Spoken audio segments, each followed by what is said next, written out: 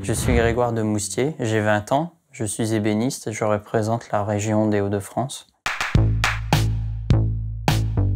J'ai remporté le deuxième prix national du prix Avenir des métiers d'art.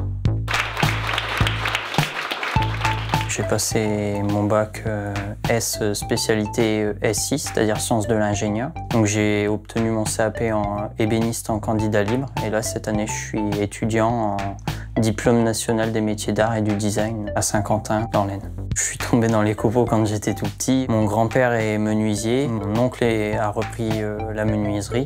Donc j'ai toujours été dans les ateliers. C'était un choix évident pour moi d'intégrer une école d'ébénisterie. J'ai présenté au concours euh, un vélo en bois que j'ai nommé Puis Paulette en référence à la chanson d'Yves Montand.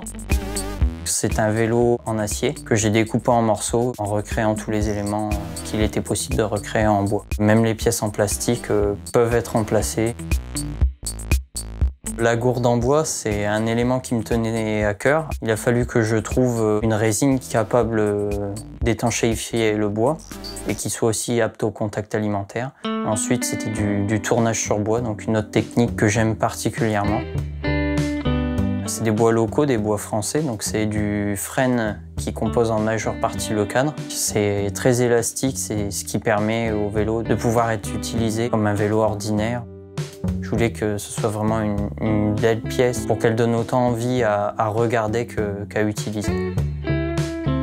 Ce qui est marrant, c'est que je ne fais pas du tout de vélo, je suis pas sportif du tout. L'idée de base, c'était juste relever un défi technique. J'essaie toujours d'aller plus loin, de repousser les limites, de repousser ce que j'ai déjà pu faire auparavant. Des frites. La nuit, La cité de la peur euh, de Les Nuls.